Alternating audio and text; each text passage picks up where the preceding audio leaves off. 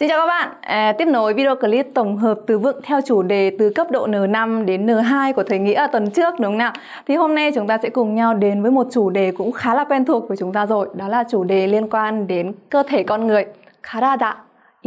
Cho bạn nào chưa biết thì những từ vựng mình tổng hợp ở trên này sẽ cùng theo một chủ đề cố định đó là chủ đề ở đầu này. Sau đó thì mình sẽ à, chia những cái từ vựng này ra những cái cấp độ khác nhau từ khó đến dễ hoặc là có thể hiểu theo ngược lại là từ dễ đến khó. Thì theo như mình à, cái phần mình trình bày ở trên này thì mình sẽ có à, ba cái phần màu này đúng không ạ?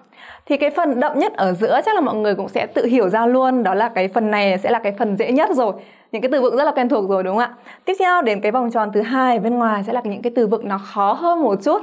Và cuối cùng là những cái từ vựng ngoài cùng màu trắng ở phía bên ngoài này sẽ là những cái từ vựng khó nhất ở trong phần này thôi nhá. Dĩ nhiên là có thể là sẽ có những từ vựng khác nữa nó sẽ khó hơn nữa. Thì đây mình sẽ cùng nhau tổng hợp những cái từ vựng học nhanh những cái từ vựng này. Ok không nào? Hay, rồi bây giờ chúng ta sẽ cùng nhau đi từ những cái từ vựng dễ trước được không nào? Hay, à chúng ta sẽ cùng nhau ôn lại cái vòng tròn đầu tiên nhá hay, chúng ta sẽ bắt đầu từ đâu nhỉ?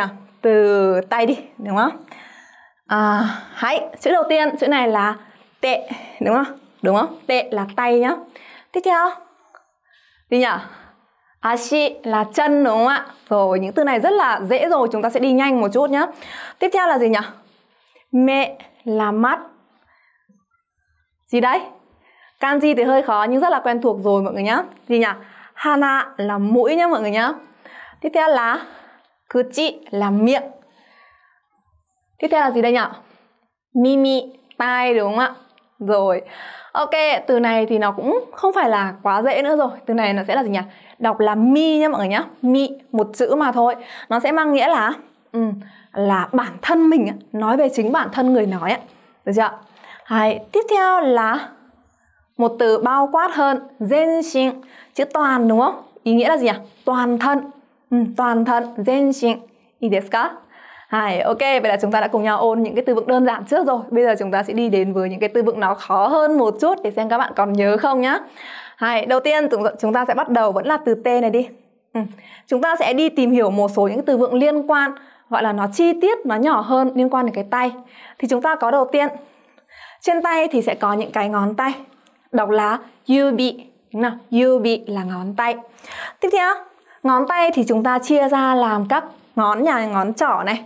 Rồi à ngón cái này ngón trỏ này các thứ các thứ đúng không? Thì tiếng nhật cũng có chúng ta có từ đầu tiên là gì đây? Hito sashi yubi là cái ngón trỏ. Ngón trỏ này đúng không ạ? Hito sashi sát sự chính là chỉ. Cái ngón sử dụng để chỉ người khác ấy thì chúng ta thường sử dụng ngón trỏ này đúng không mọi người? Đó. Tiếp theo chữ số 2 là oya yubi oya yubi ừ, ngón bố ngón mẹ đấy đúng không? Oya nói về bố mẹ thì chính là cái ngón cái đầu tiên ừ, ngón to nhất đầu tiên được chưa tiếp theo là à, naka yubi ừ, naka là ở giữa vậy thì mọi người sẽ hiểu luôn là cái ngón gì đấy ngón giữa này đúng không tiếp theo là kusuri yubi kusuri yubi chính là cái ngón áp út này mọi người nhé cái ngón áp út và cuối cùng koyubi là ngón ngón út Ok, cũng khá là dễ nhớ đúng không mọi người? Hai.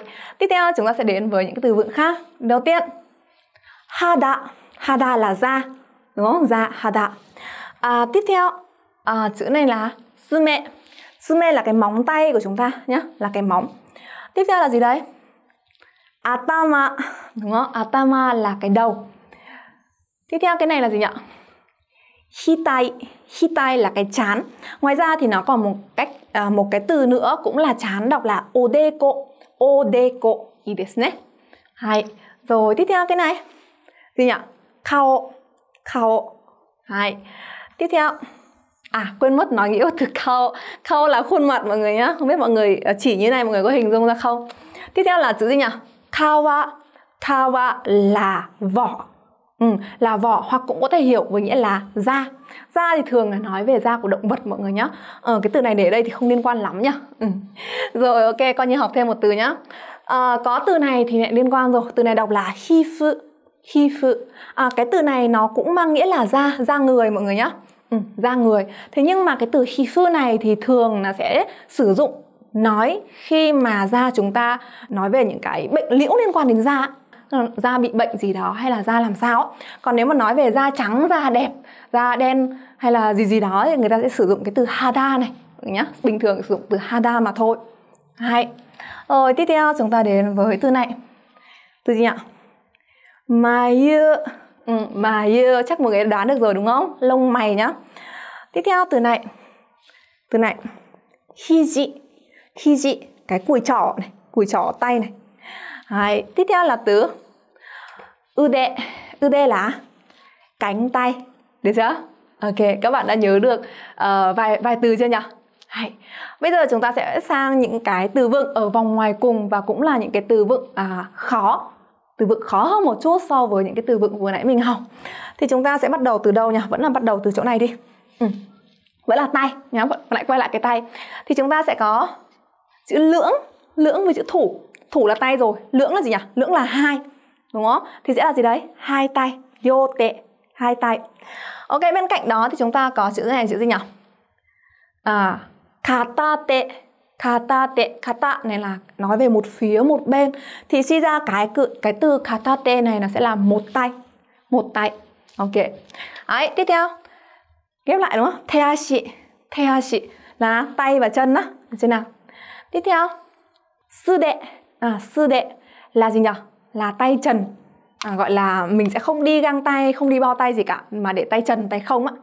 Được chưa? Tiếp theo chúng ta có một chữ Hán khá là khó đúng không? Từ này sẽ đọc là shoken. Shoken. Shoken này nói về cái nắm đấm. Thực ra trong văn nói thì chúng ta còn một từ nữa sử dụng cho cái nắm đấm này, đó là cái từ kobushi. Kobushi, đúng không? Nắm đấm nhá. Tiếp theo một từ nữa chắc hẳn là sẽ có rất là nhiều bạn có hứng thú. Từ này là gì nhỉ?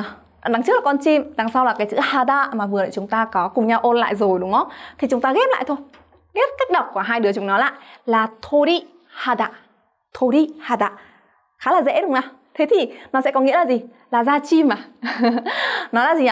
À, nó sẽ hiểu là da gà mọi người nhé da gà. Và trong tiếng việt của chúng ta thì có một cái cách nói khá là hay đó là gì đấy? Ôi nổi cả da gà lên ý đúng không? Thì à, mình trong tiếng nhật mình sẽ có cái câu đó đó là gì nhỉ? Gà thật sự. Tatsu tatsu chúng ta sẽ sử dụng cái chữ lập này nhé mọi người nhé tatsu ok. Hai. Tori gà thật tatsu nổi cả da gà lên đúng không? Đấy, tiếp theo thay các cự thay các cự nói về cái vóc dáng ừ. tiếp theo ừ, cái từ này mình cũng chỉ cần ghép hai cái cách đọc của nó lại thôi à, ashi rồi đúng không? Cái này là gì nhỉ? Cái này là koshi. Koshi chính là cái phần hông, phần eo đằng sau này. Thì ở đây nói về gì nhỉ? Đầu tiên cái nghĩa đen của nó sẽ nói về cái phần chân và cả cái phần hông này. Cái nghĩa thứ hai thì nó có thể sử dụng để nói về những cái người mà có có sức khỏe ừ, có sức khỏe sức lực tốt tức là phần chân và phần hông này rất là chắc rất là khỏe. Được chưa Hai. tiếp theo từ này đọc là Simon. Ừ, Simon là nói về cái vân tay. Ừ, cái vân tay của chúng ta. Và từ này là kubi suji. Ừ, kubi là cái cổ. Suji nói về cái gân cốt đúng không? Thì cái kubi suji này thực chất ra nó nói về cái phần phần gáy đằng sau này phần gáy nhá. Hai. tiếp theo từ này là mimi tabu. Mimi bự là cái này Mọi người biết cái phần ở dưới này là phần gì không? Là cái dái tai ấy Đúng không? Cái dái tai Và hãy Từ này đọc là Ka han shin Ka là dưới Han là một nửa Cái chữ shin chính là cái chữ mi Vừa nãy mình học là nói về à, thân thể Nói về à, bản thân mình đúng không? Thì mình ghép nghĩa của nó lại thôi Sẽ là gì nhỉ? Nửa Nửa thân dưới á Nửa thân dưới Được chưa? Tiếp theo trái ngược với nó ờ, sẽ là jo là thượng đúng không? Là phía trên sẽ là johanshin sẽ là nửa thân trên. Ok, đơn giản đúng không?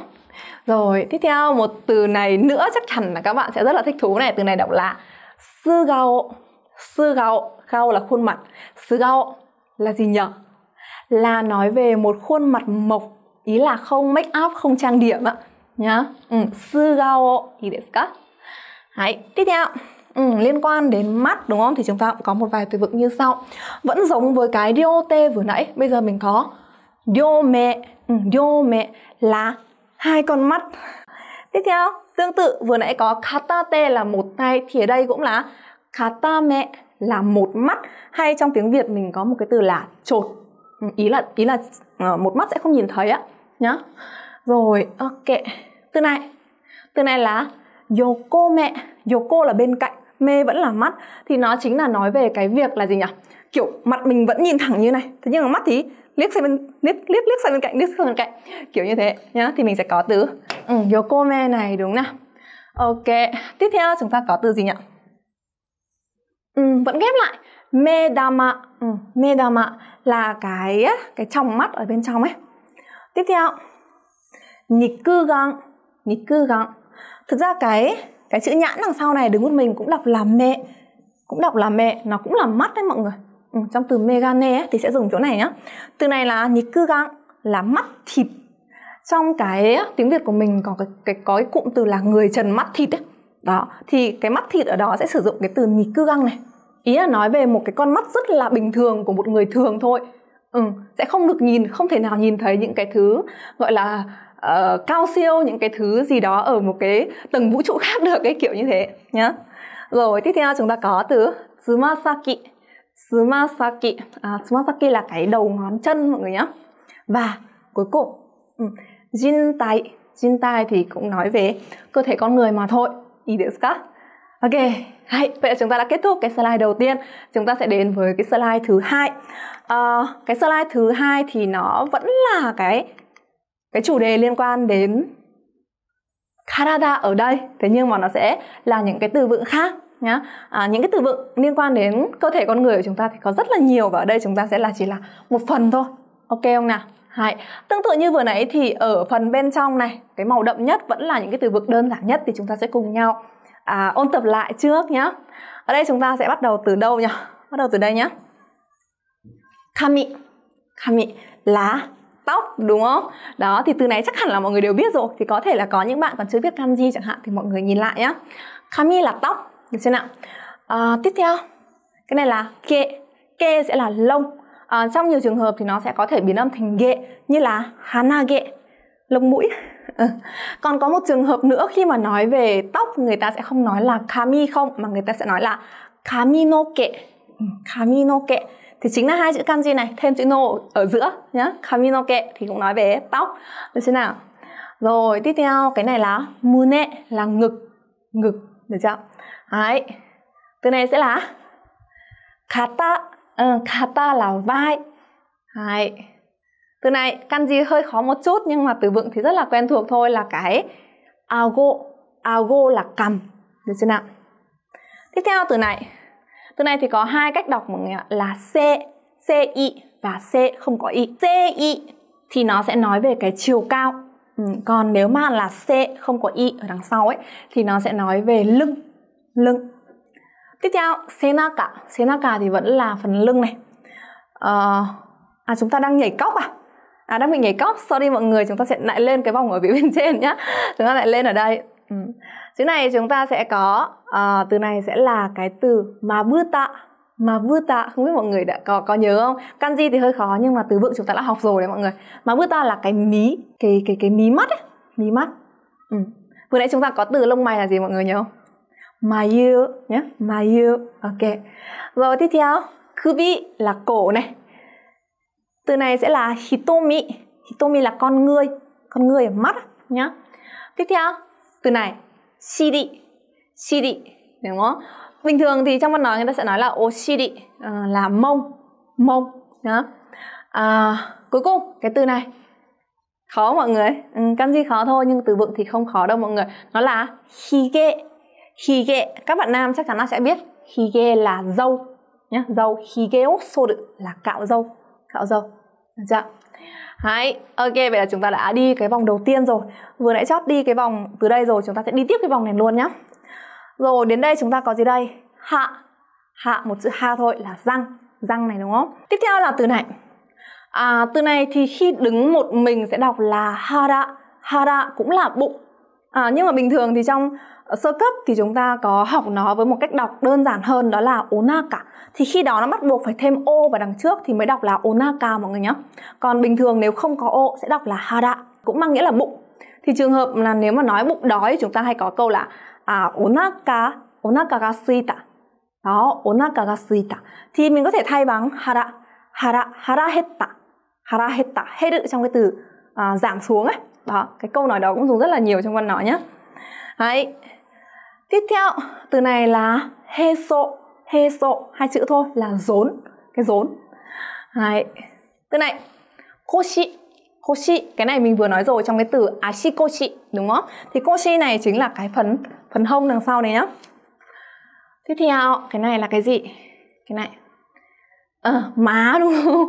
Má đây chính là cái má là khô ô hay là khô khô nhá. Hai cách đọc khô ô hay là khô khô đều được rồi. Tiếp theo hadaka. Hadaka nói về cái việc là trần trụi nói về cái việc là khỏa thân. Được chưa? Hadaka. Hay. tiếp theo mình có từ này. Từ này là kuchibiru. Kuchibiru là môi. Môi. Bình thường mình chỉ nói là kuchi là gì nhỉ? Là nói về cái miệng đúng không? Thì ở đây người ta có một cái từ nhỏ hơn nói về môi. Đó là kuchibiru nhé kuchibiru. Đấy, tiếp theo shita shita là cái lưỡi. Lưỡi. Cái này là nodo nodo là họng. Um, nodo ga kawaku ấy là khát nước ấy mọi người. Chỉ là cái họng nó bị khô thì mình sẽ hiểu là khát nước. Được chưa? Đấy, ok. Uh, hai từ này yaseru với storu thì là um, gầy và béo đúng không? Rồi tiếp theo từ này là waki. Uh, waki là cái nách. Được chưa? Waki là cái nách. Đấy, vậy là chúng ta đã xong cái vòng thứ hai. Cuối cùng là cái vòng thứ ba vòng vòng trắng ở phía bên ngoài thì sẽ khó hơn một chút. Chúng ta cùng nhau cố gắng nhé chúng ta sẽ bắt đầu từ những cái chữ này đi liên quan đến tóc. Chúng ta sẽ có tóc dài tóc ngắn tóc đen tóc trắng các thứ này. Thì đây có đầu tiên tóc dài. Ừ, tóc dài đọc là chohatsu chohatsu tóc dài. Tiếp theo tóc ngắn thì nó sẽ biến âm một chút thành tan pat pa phở p phở nhá. Pat là tóc ngắn. Tiếp theo maegami maegami là cái tóc tóc mái đằng trước đấy mọi người. Ừ, tóc ở đằng trước là tóc mái nhá cái này tóc trắng đọc là gì các bạn? Đây là một trường hợp đặc biệt mà rất là nhiều bạn bị uh, quên và bị nhầm. Cái này sẽ đọc là shiraga. Shiraga là tóc trắng. Còn tóc đen thì đọc bình thường thôi. Kurokami nhá kurokami tóc đen. Và mình có một cái nữa là kamigata là kiểu tóc. Ừ, kiểu tóc. Tiếp theo chúng ta đi đến với những cái từ vựng khác. Từ thay các cự. À, thay các cự. Nói về gì nhỉ? Vóc dáng đúng không? Vóc dáng con người. Từ nữa. Karadatsuki karadatsuki sẽ là nói về ngoại hình. À, ngoại hình bên ngoài á. Tiếp theo chúng ta có từ gì đây? Himan. Ừ, himan. Nói về cái sự béo phì. Ở trong này có gầy béo này đúng không? Yaseru futoru là béo và ở đây có từ himan himan là béo phì. Đó. Rồi ngoài này thì có hai động từ. Hai động từ. Ờ, ở đây là haeru. Haeru. Haeru là mọc. Mọc như kiểu là tóc mọc dâu mọc cỏ mọc. Còn hayasu sẽ là một cái tha động từ. Tức là mình để mình nuôi cho nó lớn lên cho nó dài ra. Tức là mình nuôi tóc này mình nuôi dâu cho nó dài ra này. Đó tức là mình để để cho nó dài ra nhá. Rồi ok. Tiếp theo từ này là phực cơ bự, phực cơ bự là vùng bụng. Ừ, bụng à cái bự này nói về cái phần cái bộ phận. Còn cái phức cự đằng trước chính là cái chữ hara vừa nãy mình học là bụng đấy thì nó nó sẽ ghép lại có cái từ là vùng bụng. Được chưa?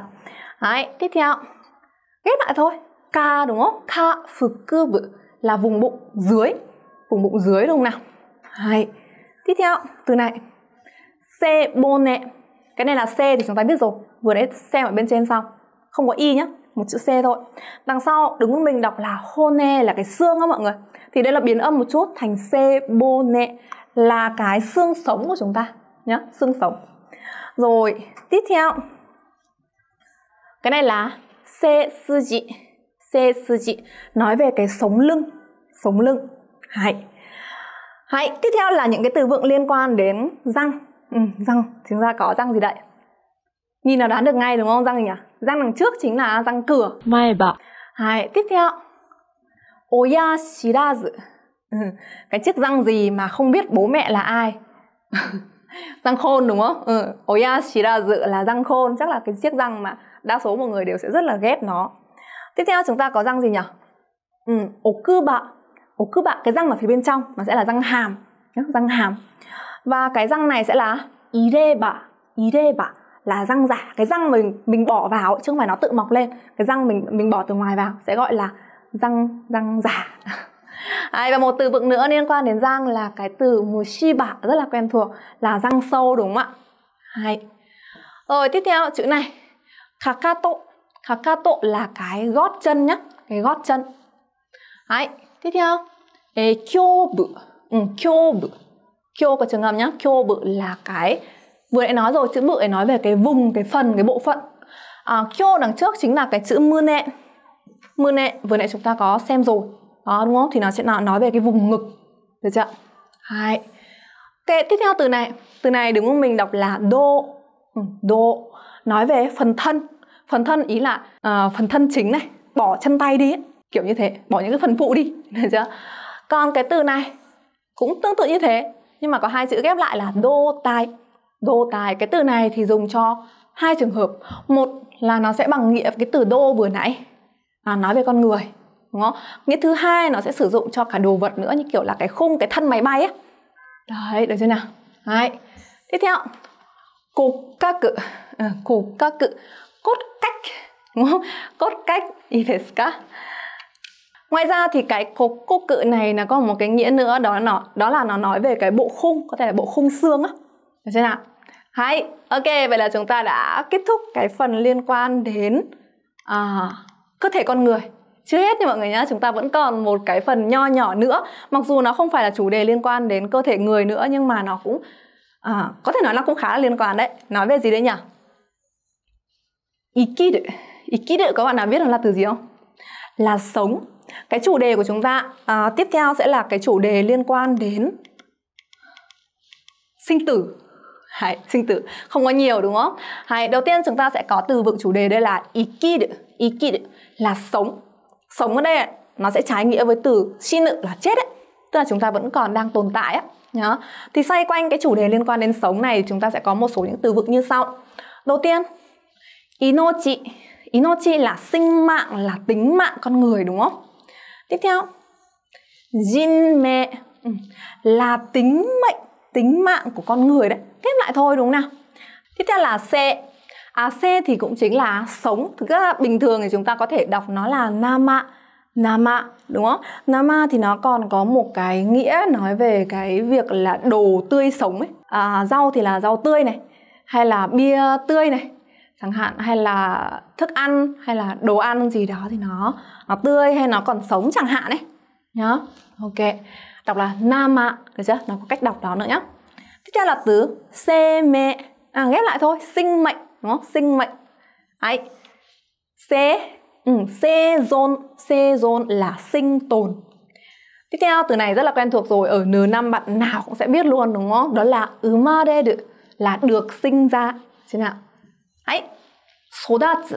Sodatsu là lớn lên là trưởng thành. Và sodateru nó là tha động từ sẽ nói về cái việc là mình nuôi dạy. Đấy.